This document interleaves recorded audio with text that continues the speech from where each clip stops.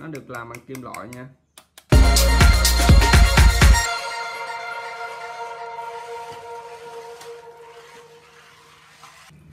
Vâng, xin chào bạn. Thì hôm nay mình sẽ giới thiệu bạn một mẫu sản phẩm đó là xe điều khiển địa hình Rock roller ha. Và mẫu sản phẩm này à, của hãng GRC ha, Win15 ha, với mã sản phẩm là D313 ha.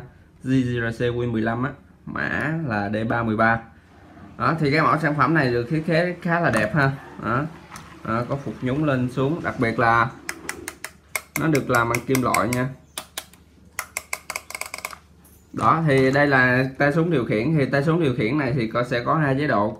Chế độ A là tốc độ chậm ha chế độ B là tốc độ nhanh hơn. À, tuy nhiên thì nó chỉ nhanh hơn một chút xíu thôi tầm khoảng 15 20 km trên giờ đổ lại. Bởi vì cái mẫu sản phẩm này là thiên về leo địa hình.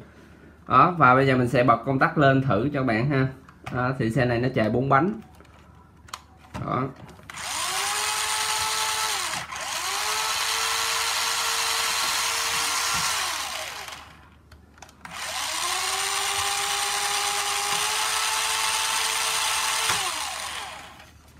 Đó. Thì cái mẫu sản phẩm này thì nó sẽ sử dụng pin sạc 4.8 ha. À, khi các bạn chơi hết pin đó thì chúng ta sẽ sạc với dây sạc USB như thế này thì nó sẽ à, sạc tầm khoảng một tiếng một tiếng rưỡi ha đó, thì bây giờ mình sẽ điều khiển thử mỗi sản phẩm này cho bạn xem.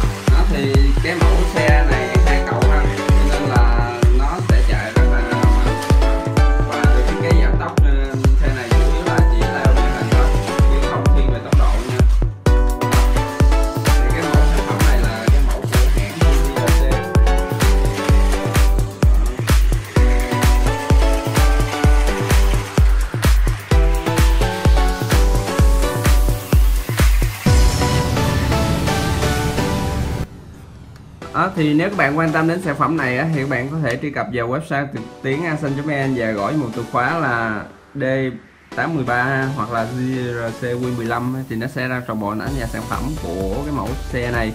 À, kèm theo video và hình, hình bên dưới. À, các bạn đừng quên like, share và subscribe kênh thì mình sẽ luôn luôn có nhiều mẫu sản phẩm mới. Độc đáo sẽ update cho bạn trong những video tiếp theo. Anh xin cảm ơn các bạn đã chú ý theo dõi các bạn nhớ đăng ký kênh asin.vn channel để nhận được thông báo khi có video mới nhé. Đăng ký thành viên hoàn toàn miễn phí nhé các bạn. Cảm ơn các bạn đã xem video này.